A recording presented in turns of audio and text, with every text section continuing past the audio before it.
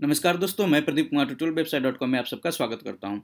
दोस्तों, हम देख रहे हैं टाइप स्क्रिप्ट की सीरीज़ और प्रीवियस वीडियो में हमने देखा था फ़ंक्शंस क्या होते हैं, फ़ंक्शंस के टाइप कितने होते हैं और किस तरीके से फ़ंक्शंस को हम कॉल करते हैं, किस कंडीशन में। आई होप आप सबने वीडियो देखा होगा फ़ंक्शंस का तो आप सबको कॉन्सेप्ट क्लियर होगा।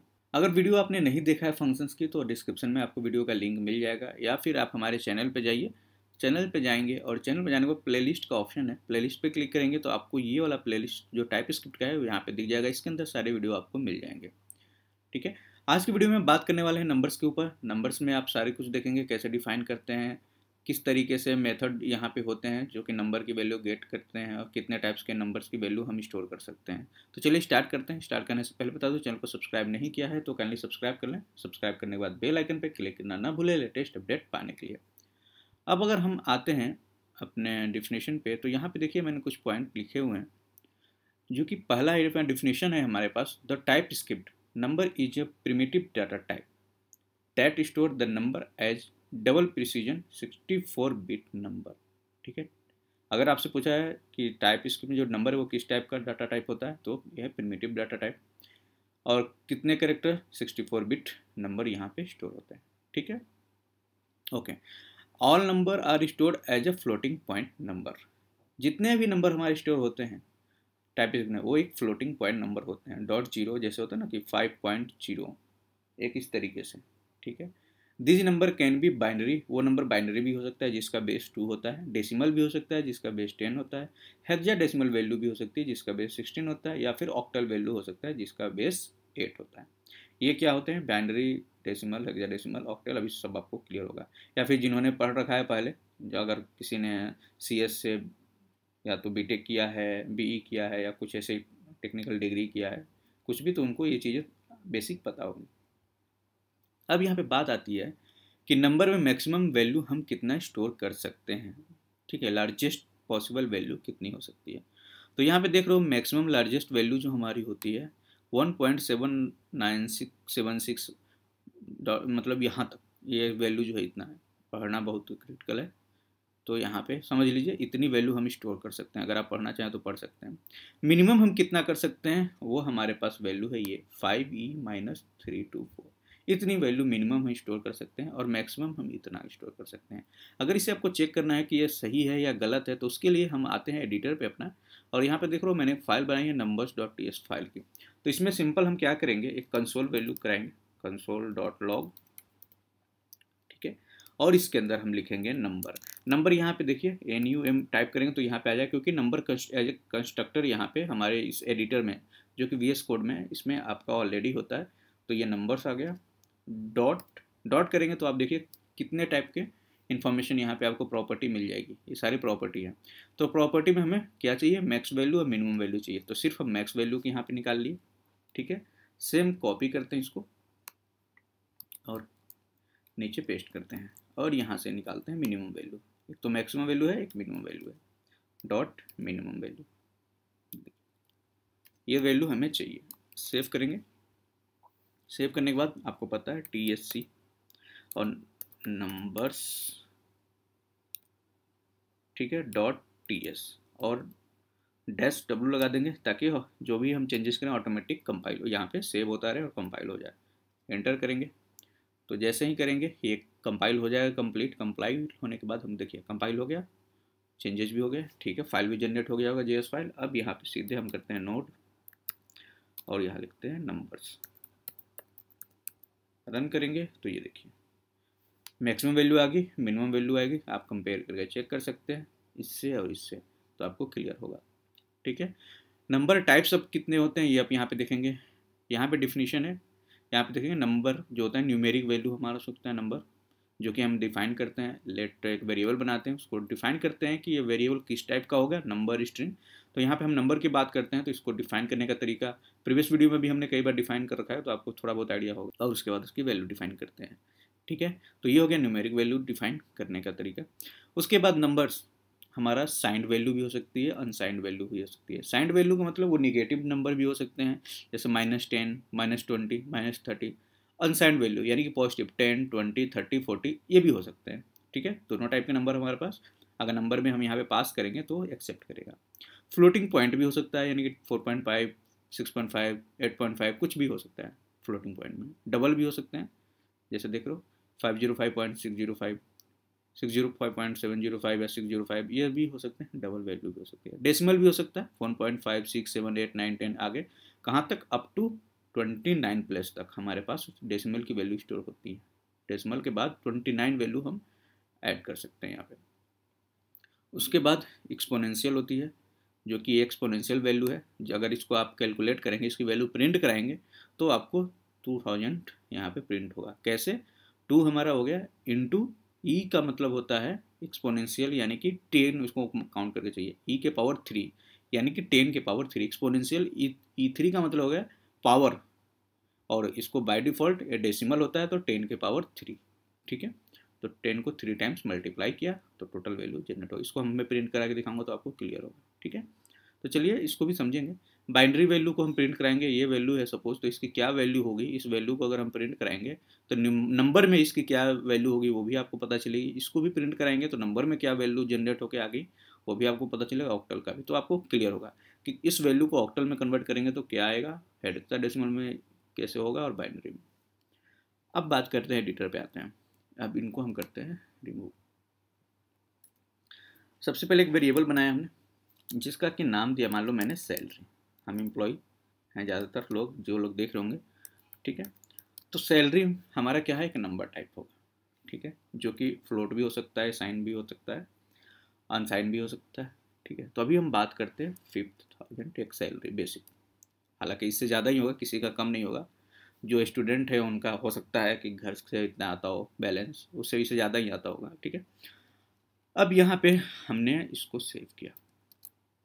तो ये देखिए, हमारा ये तरीका है नंबर डिफाइन करने का, ठीक है? अगर कोई वेरिएबल डिफाइन कर, वो एक नंबर टाइप का होना चाहिए, उसके लिए इस तरीके से हम डिफाइन कर सकते हैं। अब इसके अंदर ऐसा नहीं है कि हम इसमें अगर चाहें कि स्ट्रिंग पास कर दें, स्ट्रिंग के अंदर हम फाइव थाउज़ेंड पास करें तो ये पॉसिबल नहीं है, ठीक है?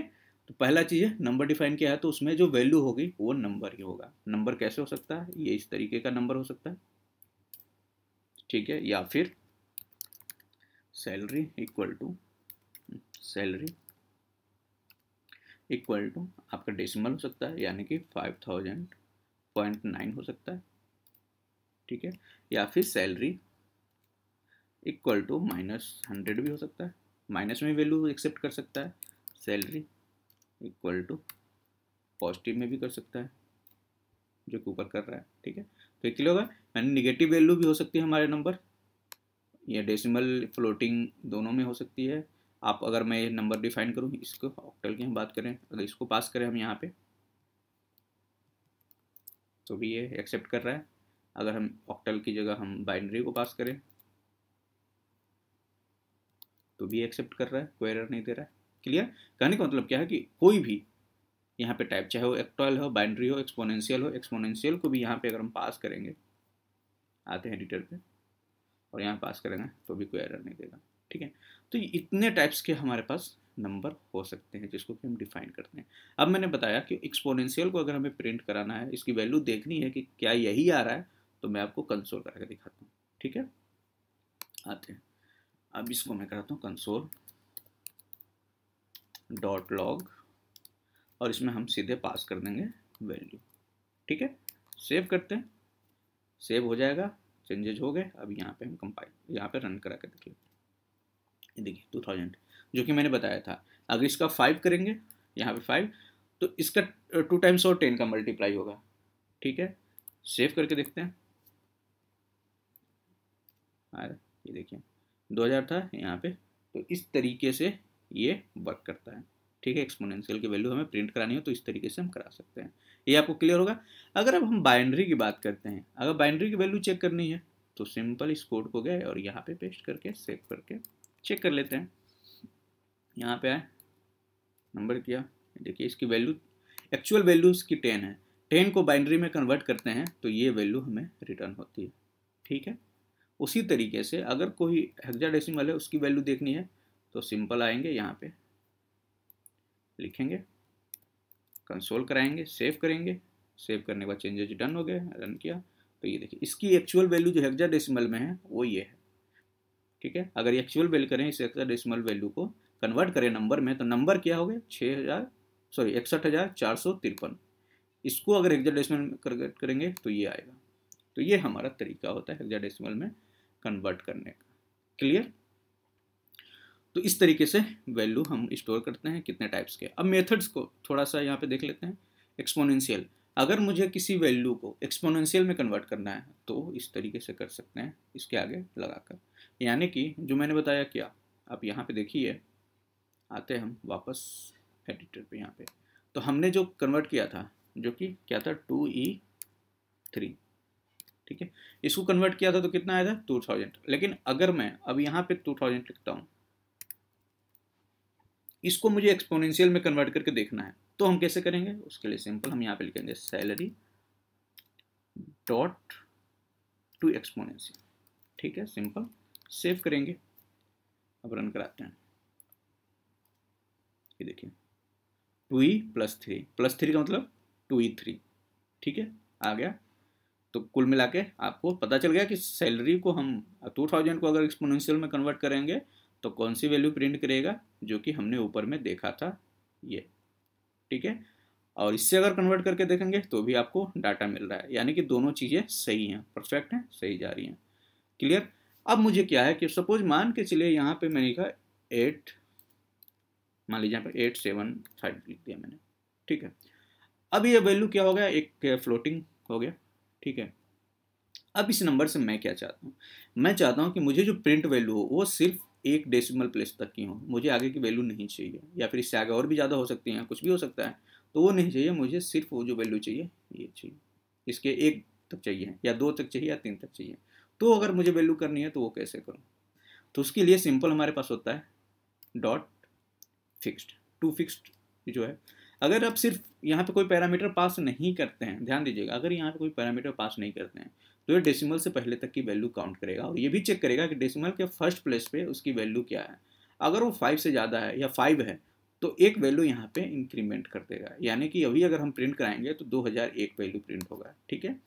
और डेसिमल के वन तक का प्रिंट करना है या टू तक का प्रिंट करना है तो यहाँ पे वन किया है, यहाँ पे मैंने पैरामीटर टू पास कर दिया। अब तीनों वैल्यू हम प्रिंट करा कर देख लेते हैं। तो अब देख लो 2001 किया, क्योंकि मैंने बताया था कि अगर फाइव से ज़्यादा है तो यहाँ फाइव से ज़्यादा या फाइव है तो भी आपको यहाँ पे एक इंक्रीमेंट करके दे देगा। अब डेसिमल के वन प्लस तक की वैल्यू प्रिंट करनी थी, यानी कि आठ तक की करनी थी तो अगला पॉइंट देखेगा कि अगला वैल्यू जो है वो फाइव से या फाइव तो नहीं है फाइव से ज़्यादा या फाइव तो नहीं है, अगर है, उस कंडीशन मैच कर रहा है तो एक यहाँ पे इंक्रीमेंट कर देगा तो एट की जगह नाइन हो गया। ठीक है? सेम यहाँ भी देख रहे हो, यहाँ पे फाइव है तो भी यहाँ पे, देखिए सेवन की जगह एट कर दिया यहाँ पे। टू डबल एट कर दिया। अगर मैं यहाँ पे थ्री करता हूँ लाइट से, यहाँ पे मैंने किया थ्री तो अब थर्ड प्लेस पे हमारा क्या है? फाइव है। लेकिन फाइव के बाद की वैल्यू क्या है? थ्री है। यानी कि फाइव से नीचे है। तो यहाँ पे फाइव में एक इंक्रीमेंट करके सिक्स नहीं करेगा, सिर्फ़ फाइव तक प्रिंट करेगा। दिखा देता हूँ मैं आपको। तो ये देखिए फाइव दिया। इसको सिक्स नहीं किया। उससे पहले तक की वैल्यू को एक इंक्रीमेंट कर रहा था बट फाइव वाले केस में नहीं किया, क्योंकि वो वैल्यू फाइव से नीचे है। तो आई होप आपको ये दोनों क्लियर होंगे। ठीक है? तो एक्सपोनेंशियल आपको समझ में आ गया फिक्स समझ में आ गया।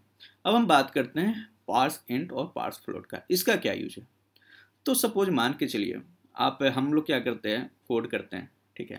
उसमें वैल्यू भी डिफाइन करते हैं। और जहाँ पे हमें मल्टीप्लिकेशन डिवीज़न या फिर उस तरीके की वैल्यू होती है, करनी होती है। तो देखो क्या होता है टाइप स्क्रिप्ट में क्या होता है? प्लस करने के लिए हम क्या करते हैं? प्लस साइन का यूज़ करते हैं। लेकिन दो स्ट्रिंग को ऐड करना हो तो भी हम प्लस साइन का यूज़ करते हैं। ठीक है? तो उस केस में क्या होता है कभी कभी प्रॉब्लम ये आती है कि प्लस आप नॉर्मली यूज़ करते हैं स्ट्रिंग को लिख के दो वेरिएबल तो वो क्या होता है, कभी एक दूसरे के साथ जोड़ देता है स्ट्रिंग। मान लो किसी तरीके से स्ट्रिंग में वो वैल्यू आ गई तो ठीक है? उसको अगर लगा कि ये स्ट्रिंग है तो अगर टाइप डिफाइंड है तो उस तरीके से कर देता है, उसको स्ट्रिंग में ऐड कर देता है। तो उससे बचने के लिए हम क्या करते हैं, सिंपल कंसोल डॉट लॉग, ठीक है? अगर मैं करूँ, और मुझे अगर इस प्रिंट को, ये वैल्यू मेरा फ्लोटिंग वैल्यू आ रही है। मैं क्या चाहता हूँ कि सिर्फ़ इंटीजर वैल्यू हमारा एडिशन हो और उसको इंटीजर में कन्वर्ट करना हो तो हम सिंपल यहाँ से लिखेंगे पार्स इंट पार्स इंट में अगर इस वैल्यू को पास करते हैं सैलरी को, ठीक है? तो अब देखिए यहाँ पे थोड़ा सा आपको कुछ चीज़ें दिखेगा एरर ठीक है? सेव करते हैं। अब इसको प्रिंट कराता हूँ, देखिए यहाँ पे क्या आ गया? Salary error argument of type number is not is unable to parameter the type of string यानी कि पार्स इंट हमने किया तो यहाँ पे एक स्ट्रिंग ही पास करेंगे।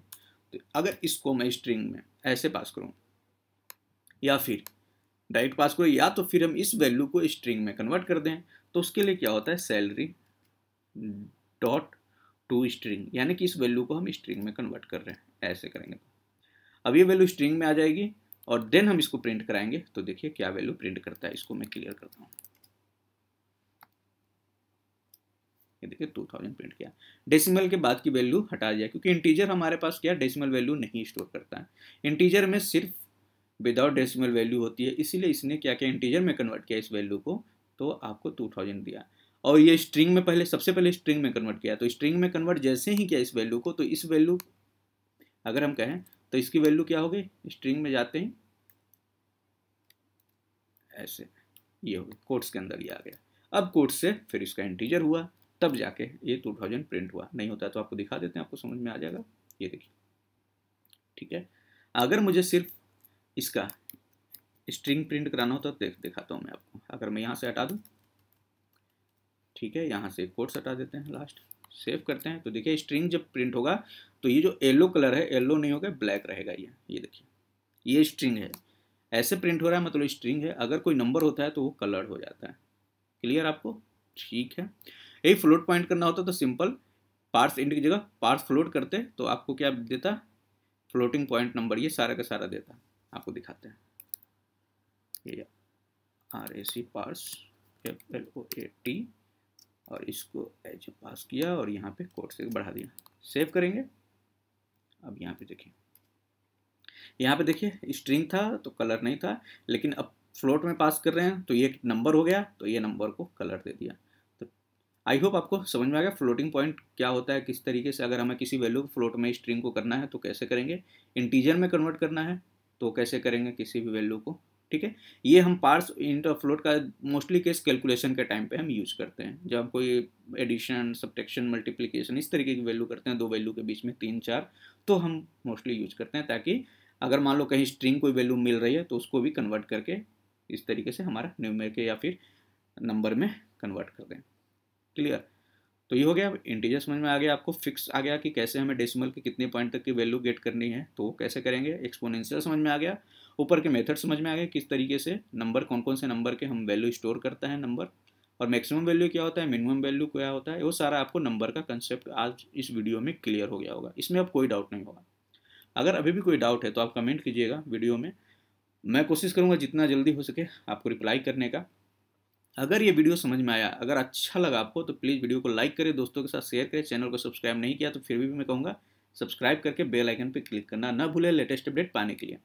आज के लिए यही रोकते हैं, नेक्स्ट वीडियो में नेक्स्ट टॉपिक पर बात करेंगे, तब तक के लिए बाय बाय टेक केयर, अपना ख्याल